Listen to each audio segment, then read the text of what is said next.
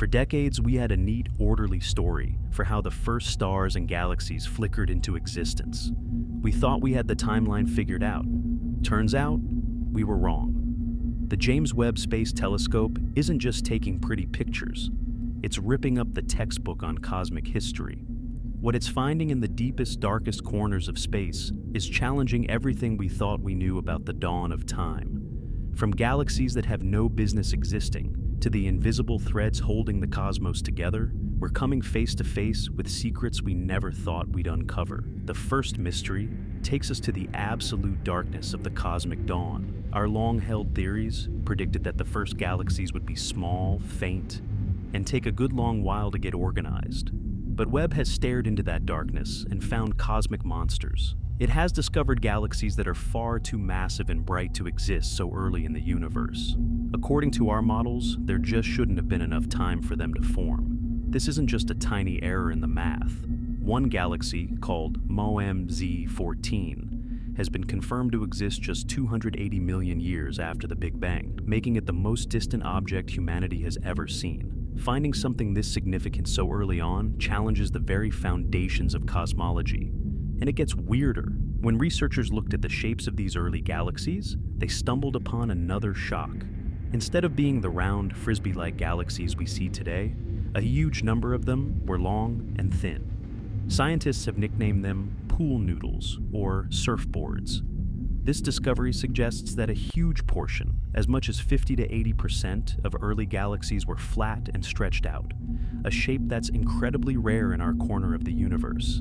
It means our own Milky Way might have once looked more like a cosmic surfboard than the grand spiral it is today.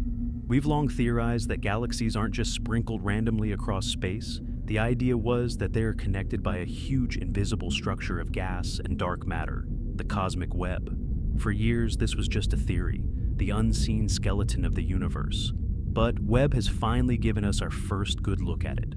Astronomers pointed the telescope at a patch of sky from just 830 million years after the Big Bang, and there it was, a 3 million light year long, thread like chain of 10 galaxies, all lined up perfectly.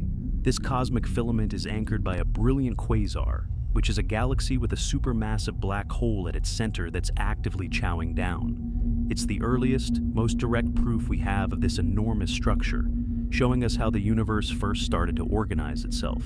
We are literally watching the cosmic blueprint get drawn, laying the groundwork for the massive galaxy clusters we see today. And believe me, this is just the beginning. If you want to keep up with how Webb is breaking cosmology, you know what to do.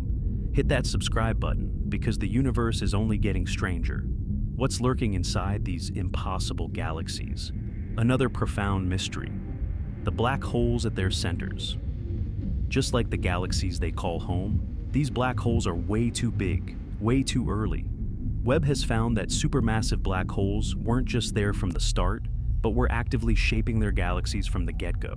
In a jaw-dropping discovery, Webb spotted the most distant black hole merger ever seen. The system, known as ZS7, shows two galaxies and their central black holes smashing into each other when the universe was only 740 million years old. One of these black holes already has a mass 50 million times that of our Sun. The only way to explain this kind of rapid growth is through constant violent mergers like this one a process that was far more common back then than we ever imagined. These observations suggest that galaxies and their black holes grew up together, locked in a chaotic dance that sculpted the cosmos. While Webb is busy rewriting the history of the universe, it's also bringing worlds much closer to home into stunning focus. For the first time, Webb used its incredible optics to take a direct picture of a brand new exoplanet. The planet, named TWA-7b, is a world about the mass of Saturn, orbiting a young star 111 light years away.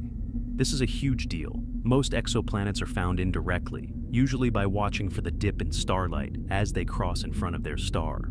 But Webb used a special tool called a coronagraph, which is basically a high-tech star blocker. It dims the overwhelming glare of the host star, allowing the faint glow of the planet itself to pop into view. TWA-7b was spotted inside a gap in its star's dusty debris disk, giving us a live-action snapshot of a planet actively carving out its own solar system as it forms.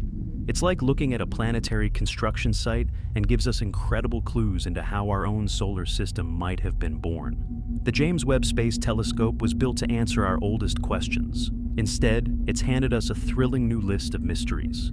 We're seeing galaxies that are too big, black holes that grew too fast, and cosmic structures we'd only ever dreamed of.